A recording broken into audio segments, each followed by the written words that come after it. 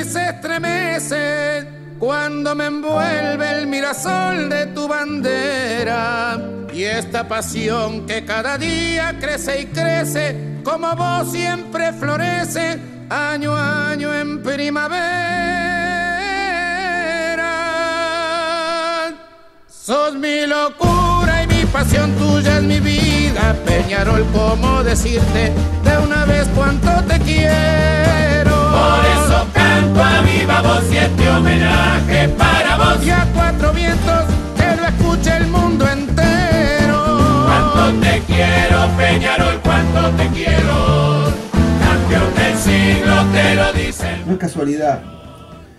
Eh, la última gran obra que se hizo en Los Aromos fue en el 80, coincidentemente, en el año 80, coincidentemente con la Copa de Oro, en la cual acá había concentrado Brasil y Peñarol eh, había refaccionado toda su concentración. Y esa década, o sea, por eso no hay casualidades, esa década eh, fue espectacular. 82 campeón de América del mundo, 83 vicecampeón de América, 87 campeón de América, vicecampeón del mundo. O sea que los éxitos deportivos estamos convencidos que no son aislados. Los éxitos deportivos tienen que ver con la institucionalidad, con el trabajo y con el orden. Eh, cuando empezamos a, soñar este presente de Peñarol, eh, el gerente deportivo Osvaldo Jiménez, un profesional 100% en esta, en esta área, nos incentivó, como en su momento Víctor Púa nos incentivó a hacer el centro de alto rendimiento, a invertir acá, con muchas dificultades, pero queríamos hacer un lugar de concentración de primer mundo. Debo agradecer también a, a los distintos cuerpos técnicos que participaron, eh, que estuvieron al frente del club en la construcción de esto, de esta remodelación, que es Diego Aguirre, el profesor Piñatares, Gregorio Pérez y el profesor Urbelo, que también con su experiencia nos fueron guiando a la excelencia.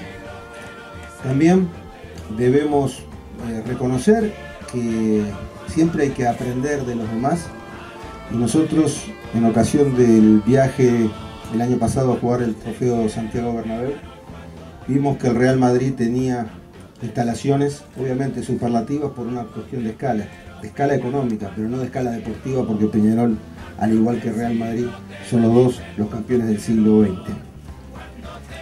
Entonces, eh, creo que esta situación nos llena de optimismo para el futuro. Simplemente que vamos por más. La próxima etapa va a aumentar el 50% de la capacidad edificable de los aromos. También se hizo a nuevo toda la parte sanitaria y la parte de electricidad, o sea, que no solo lo que se ve, sino toda la parte de infraestructura de los aromos, de caldera, etc.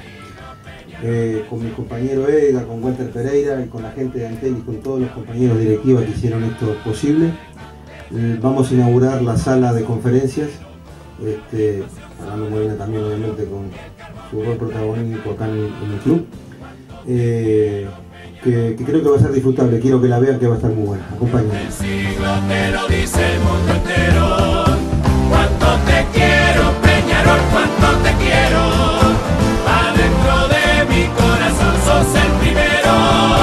¿Qué más pedir si el mundo reconoce campeón del siglo a tan grandes jugadores que han demostrado en 100 años ser mejores a pesar que lo lloren viva siempre Peñarol.